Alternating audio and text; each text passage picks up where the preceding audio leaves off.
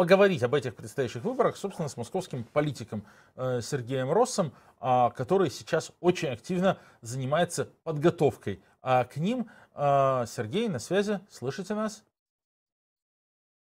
Сергей. Да, Леонид Александр, здрасте. Ага, здрасте. Здравствуйте, Добрый Сергей. Собственно говоря, почему вас позвали и что нас привлекло?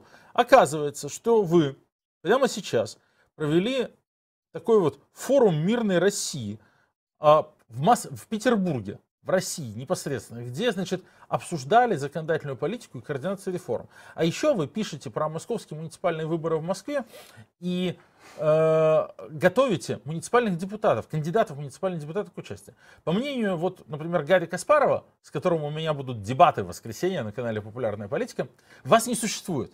Нельзя сейчас в России заниматься политикой. Нет людей, которые в России занимаются политикой.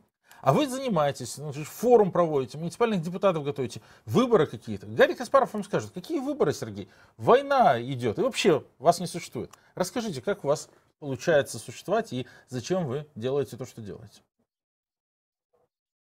А, спасибо, Леонид. Мне кажется, что а, очень важно показывать всему обществу, а не только Гарри Каспарову, то, что, а, собственно говоря, есть люди, которые не считают, что у государства есть монополия на возможность изложения вообще позиции за все общество. И, собственно, это мы пытались э, показать форумом, да, мы пытались собрать людей, создать для них, грубо говоря, место силы, да, чтобы эмоционально подзарядить батарейки после той страшной апатии, которая со всем нашим обществом случилась после 21, 24 февраля, а, позволить им проявить интеллектуальное лидерство, потому что очень часто оппозицию критикуют за отсутствие повестки да, и видения будущего.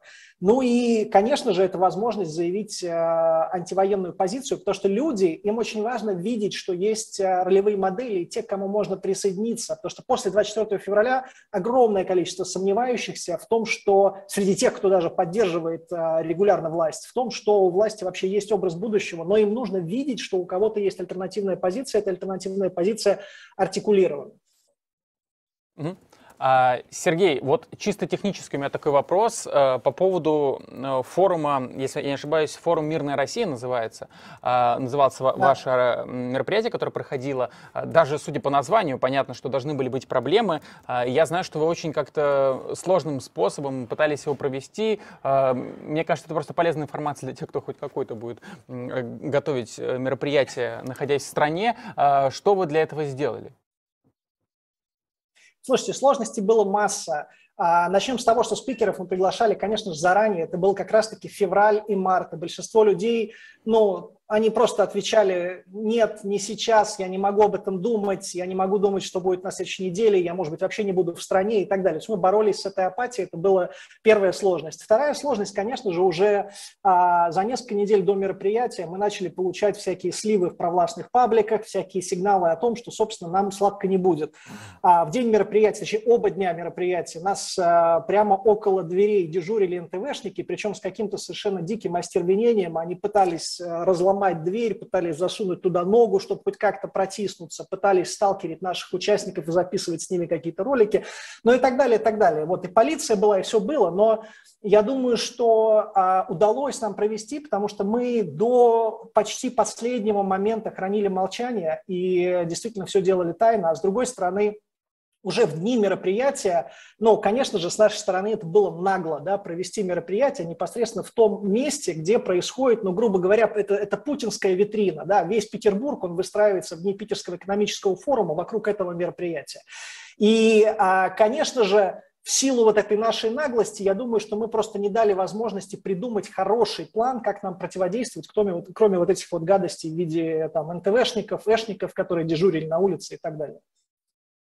Сергей, спасибо. А, говоря дальше про апатию. В Москве будут выборы 125, меня правильно, все-таки не 124, а 125 муниципалитетов. Там разыгрывается а, более тысячи мандатов, 1400. А, то есть, чтобы реально ну, там, оппозиции серьезно выступить, надо соответствующее количество кандидатов. Вот они есть, они откуда-то берутся. Есть ли люди сейчас в Москве, которые, понимая все риски, понимая риски там, антивоенной позиции, понимая вообще риски вступления в политическую жизнь. Говорят, нет, мы пойдем, мы будем бороться, э, мы хотим стать кандидатами в депутаты, мы будем идти на выборы как независимые э, кандидаты и так далее. Я думаю, здесь есть хорошая новость и плохая. Плохая новость заключается, конечно же, в том, что после 24 февраля а, кто-то уехал, чья-то внутренняя эмоциональная уверенность и готовность действовать в этой обстановке, она, конечно же, ну, увяла да, в такой обстановке. И с одной стороны это плохо, да, с другой стороны количество кандидатов на этих выборах, которые уже были депутатами предыдущие пять лет, которые все понимают, которые прекрасно знают, на что способна мэрия в плане там кооптации, давления и так далее, и которые тем не менее готовы бороться, вот таких кандидатов стало кратно больше. И в этом смысле, ну, я считаю, что, конечно же, есть шанс побороться, конечно же, есть шанс продвинуть хороших кандидатов, и есть несколько инициатив, которые пытаются это сделать. А не только я в этом участвую, да, там участвует, э, свое движение сделал Лобанов, кстати, он у нас был на форуме, да, Лобанов и э, Замятин, э, называется проект «Выдвижение», а есть проект также у Юлии Галяминой, есть проект у Марины Литвинович и так далее. То есть, ну, в принципе, я считаю, что на этой кампании есть шанс побороться, и вообще, и в этом многие спикеры на форуме были солидарны, и Гуриев, и Аббас Галемов – очень важно, а, невзирая на сложности, да, проявлять и заявлять свою позицию, артикулировать ее, участвовать в выборах. И муниципальные выборы могут стать возможностью заявить свою антивоенную позицию людям. Людям это очень важно слышать.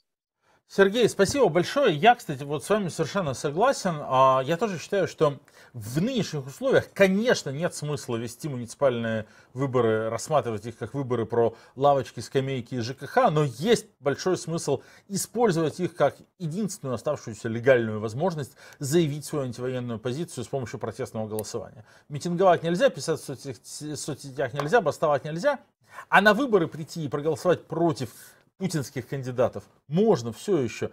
Все еще абсолютно безопасно. Я думаю, что вот это такой ну, оставшийся клапан для выпуска пара неожиданно может дать очень не, ну, непредсказуемые результаты, если действительно мы сможем хорошо организовать вот такое вот протестное голосование. Поэтому я хочу сказать, что со своей стороны мы, команда умного голосования, на это поработаем. Если кандидаты будут, которых будет не стыдно поддержать, то мы обязательно поддержим.